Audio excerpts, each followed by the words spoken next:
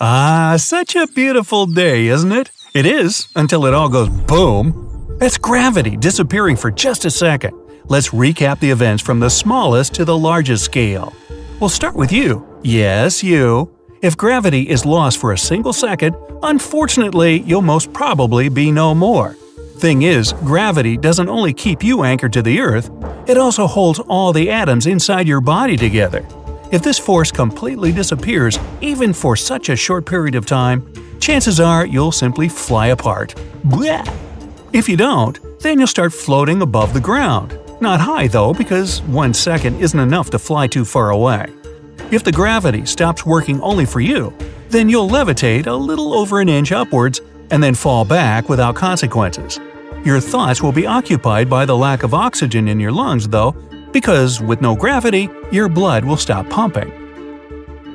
Now, if it affects the surrounding objects as well, you'll be lucky to be away from home because everything around you will float too. And after a second, all your cutlery, your bed, your wardrobes, etc., will smash down on the floor. Luckily, buildings and trees will probably stay put because they're strongly rooted in the ground by their own means. Still, the picture won't be pretty, and it'll be up to you to clean that mess. Ah, shucks. By the way, you surely know our planet is spinning and hurtling through space at mind blowing speeds. So there's a chance that if gravity does turn off for a second, everything on the Earth's surface will succumb to inertia and fly horizontally at several hundred miles per hour. That will be an even bigger mess, but only if everything retains its mass. If it doesn't, then it should be no problem. Maybe. Yet, the real trouble starts if the gravity disappears for the entire planet. The force of gravity is equal to the pressure from inside the Earth, and if the outside pressure is gone, nothing will stop the molten innards of our planet from bursting onto the surface.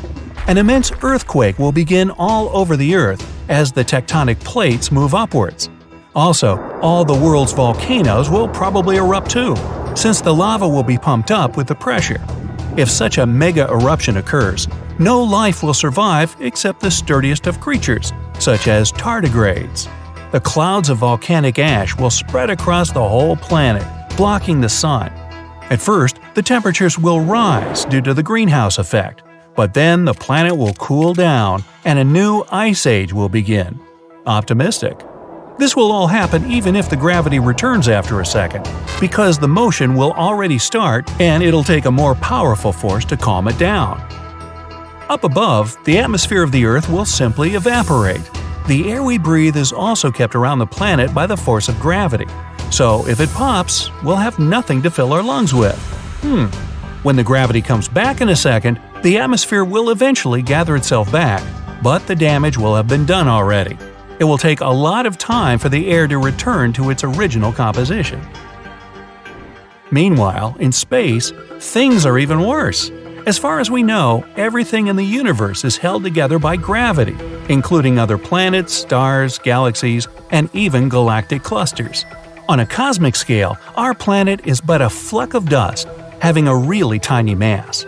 The Sun is incredibly huge by comparison, it's 109 times bigger in diameter and over 300,000 times more massive, which is why its gravity is able to keep so many planets in its orbit. And now that enormous force is just poof.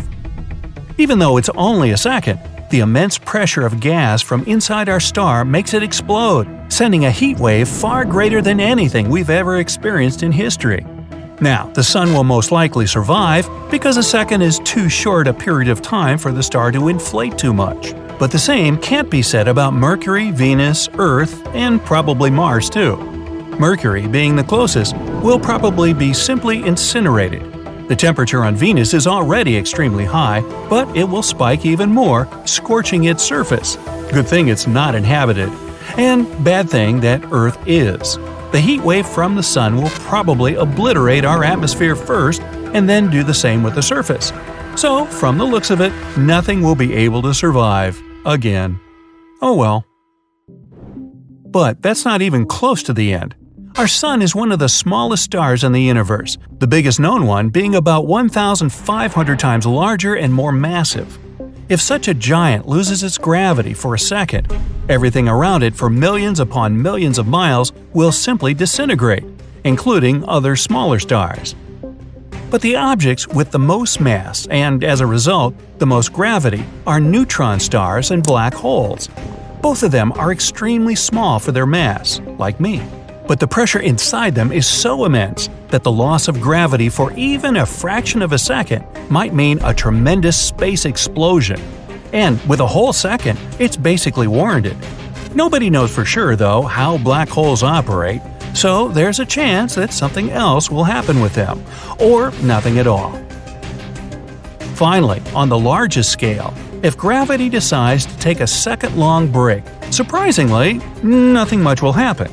Planets will mostly retain their orbits, although they might change a little bit, and if we talk about galaxies or galactic clusters, those won't even notice anything. The biggest changes will be local because, as I said earlier, stars will explode, and the larger the blast, the more it will affect the neighboring celestial bodies. For example, if a star large enough sends a wave of energy in the direction of our solar system, it might send asteroids flying toward us from the Oort cloud. Those space rocks fall onto the moon and even Earth quite regularly, but they're mostly rather small. The ones sent to us by a star explosion, however, might be a lot bigger and more dangerous. We will be protected by other planets, but still, the chances of collision will be a lot higher than normal. But who cares really? We'll be toast by then. Obviously, this is all just speculation. Nobody knows for sure what'll happen if gravity suddenly decides to stop working even for a second. What we know, though, is that it can't happen without numerous laws of physics being broken all at once. Scientists are pretty certain such a turning off is impossible altogether. For this to happen, everything in the universe will have to lose its mass first.